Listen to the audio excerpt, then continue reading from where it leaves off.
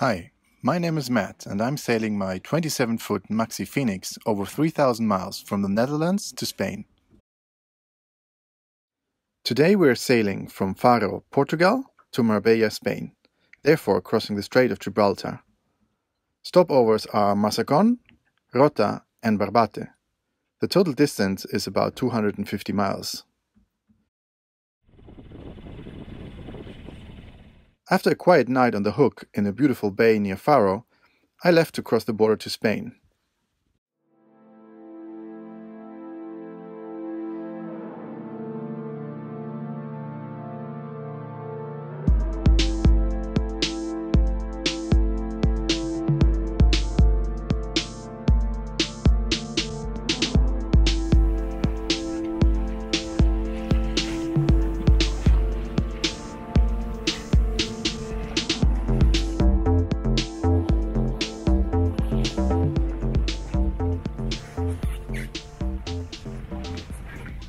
We just crossed the border to Spain and I will now change flags.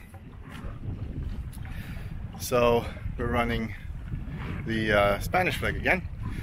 Today we're going from uh, the uh, wonderful Anchorage Bay near Faro to uh, Huelva and not even exactly Huelva but one of the smaller smaller marinas there. I forgot the name of it. Uh, it's roughly 55 miles, so quite a long trip. I started very early this morning at uh, 7.30 or 7.15 or something like that to have the full day. There wasn't much wind so far, but now it has just picked up. And uh, we're close hauling, making about 4.5 knots right now, speed over ground, which is good. And uh, our lips are bad from all the sun, so I'm putting some uh, sun sunscreen onto them but they're kind of yeah worn out a bit. So hopefully by tomorrow or in two days it's going to be fine again. Other than that everything's fine. Very good weather. Nice wind now coming up. And uh, some smaller waves which are fun. The dolphins were already here. I didn't film any of them anymore because now they kind of come every day.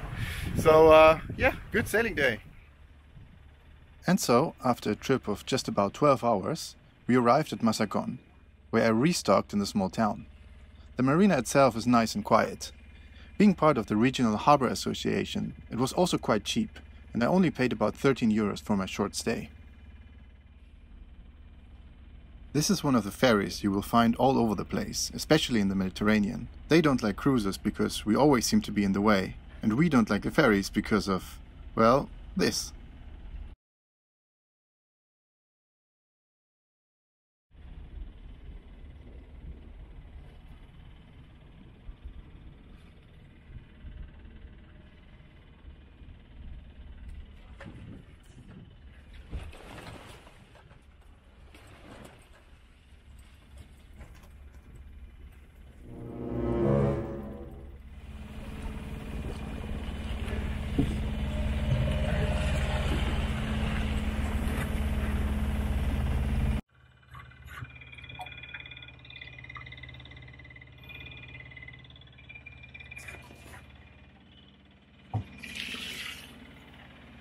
Looks like we'll have fish tonight.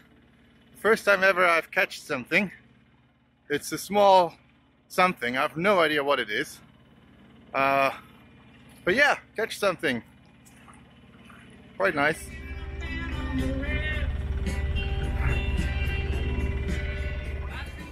So looks like lunches has been served. But now there's also dinner here. I'll check out what kind of fish that one is. It's called a mackerel. We continued our journey to the port of Rota as the wind finally picked up, so we could sail without the help of the engine.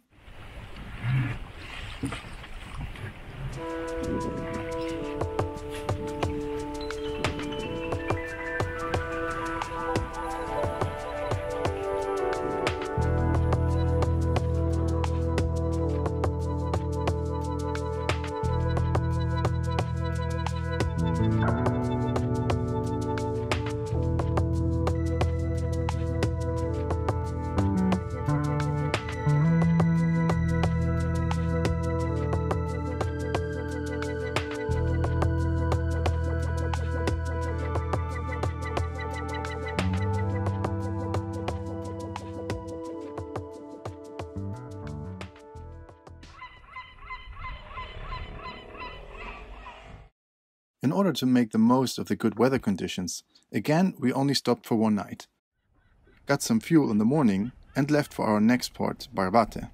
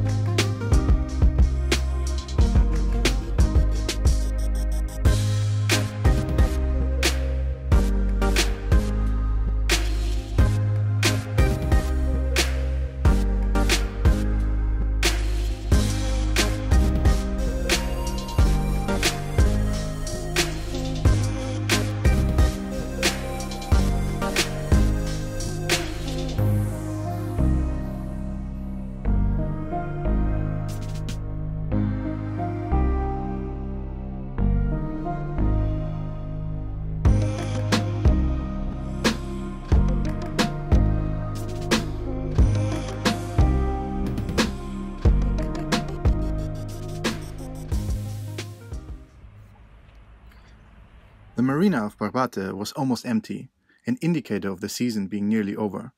However, the weather forecast was good, and so very early in the next morning I would leave to cross the Strait of Gibraltar for the first time. It's known to be a tricky area for three reasons. Firstly, there's the traffic. Obviously, all ships need to pass the strait. Secondly, there are the currents. With a surface current and a tidal current acting together, your timing has to be just right in order to slip through. Going into the Mediterranean is easier than getting out, though. Thirdly, there's the wind. It will either come from easterly or westerly directions, with the land formations creating a sort of funnel, which I think is called the jet effect. According to the pilot book the good people of the yacht Midnight Sun gave me, there are over 30 knots of wind at least 300 days a year.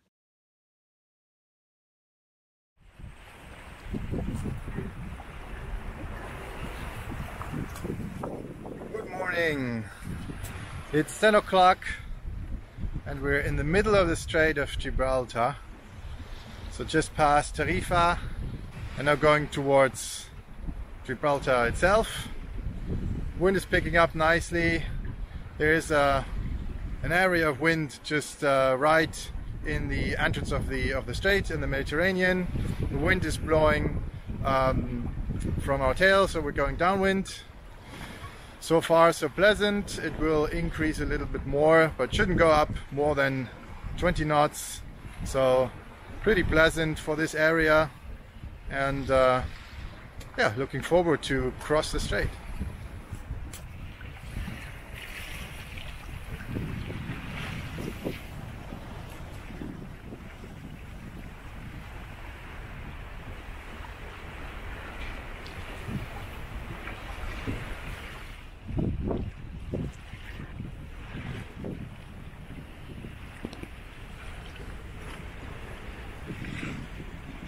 So there it is, Gibraltar in front of us.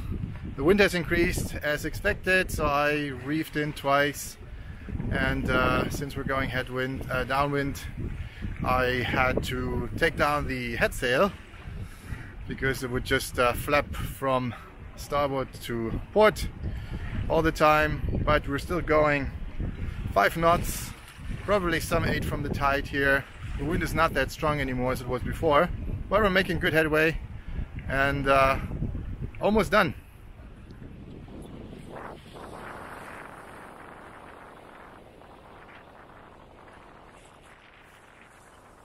Finally, the wind did pick up to around 25 to 30 knots. Hard to say without a wind meter, but with two reefs in the main and no head sail, I would still go well over 5 knots. Up to now there was no problem with traffic, as non-commercial boats will hug the coast in order to not interfere with the commercial traffic. However, there was a ridiculous amount of marine traffic at the entrance of Gibraltar. High-speed ferries and cargo ships would go in and out constantly, so a good lookout at all times was crucial.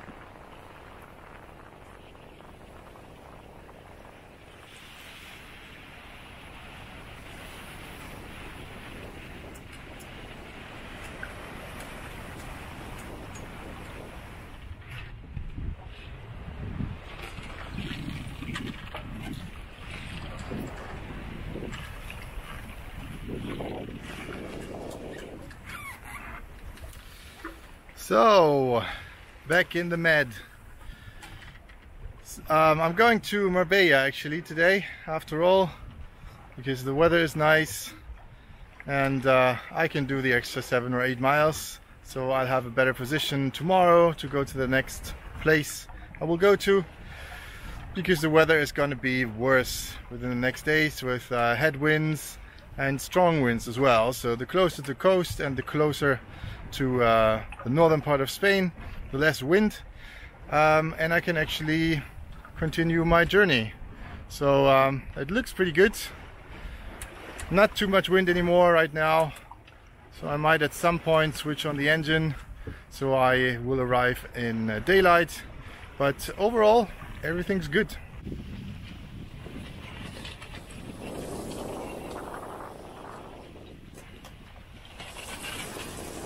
I gave it a try with the blister, but as you can see the waves make it collapse, and so after all I switched on the engine as the wind died down completely. After a total of 70 miles, I arrived at Bajadilla near Marbella. And this is also where this video ends. Thanks for watching and see you next time.